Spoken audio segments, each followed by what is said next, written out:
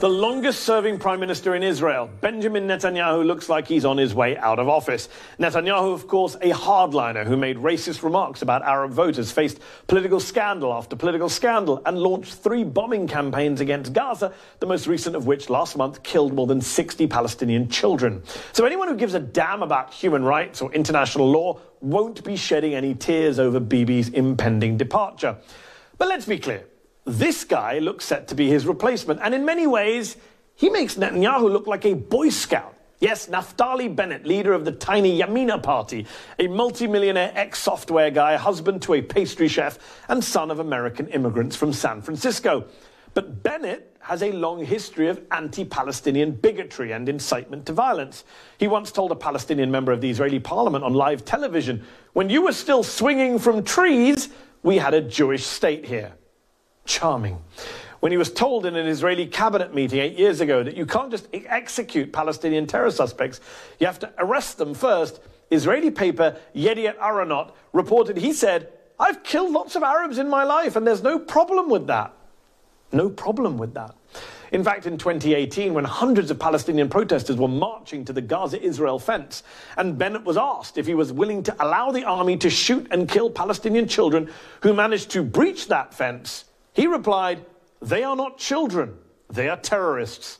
This is a politician who tried to ban members of an anti war group of Israeli military veterans from speaking to high school students, who tried to ban a novel about a Muslim Jewish romance.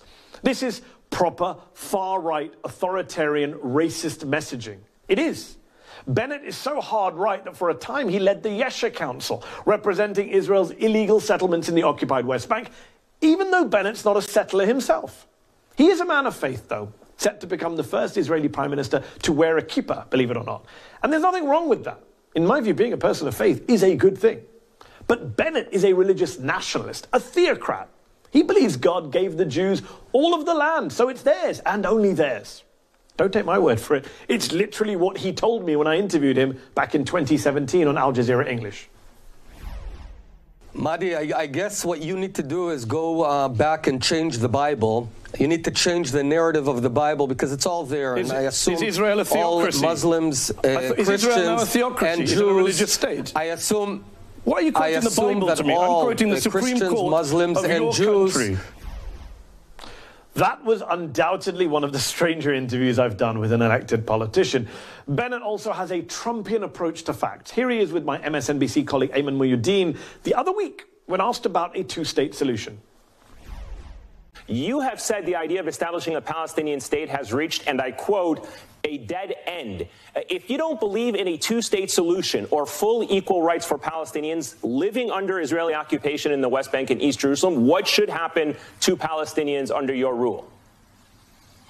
Um, we're talking about an autonomy. Right now, there is a Palestinian state in Gaza. No honest or serious person believes Gaza is the Palestinian state or has any kind of independence or sovereignty. But this is who he is anti peace, anti two state solution. This is a guy whose campaign ad once said there are certain things that most of us understand will never happen. The Sopranos are not coming back for another season, and there will never be a peace plan with the Palestinians. This is a guy who told the New Yorker in 2013, I will do everything in my power to make sure they never get a state referring to the Palestinians. So, look, if you're a Palestinian in the occupied territories or an Israeli who genuinely believes in peace and equality, Bennett isn't just more of the same, he's worse. Worse even than Netanyahu in many ways. But there is perhaps, perhaps a silver lining. For years, American liberals, the Democrats, have been able to avoid the issue of the occupation of the Palestinians by just pointing to Israeli leaders, even to Netanyahu, and saying, let's have a peace process. Let's have a two state solution. That's what we all believe in. With Bennett, that dodge is no longer possible. The likely next Israeli prime minister does not believe in a Palestinian state, never has. So to America's liberal politicians, I say, what are you going to do about that? Hi, I'm Mehdi Hasan. Thanks for checking out our channel on YouTube. You can see more of the Mehdi Hasan Show by clicking on any of the videos on this screen and make sure you subscribe below to stay up to date on the day's biggest stories. Thank you for watching.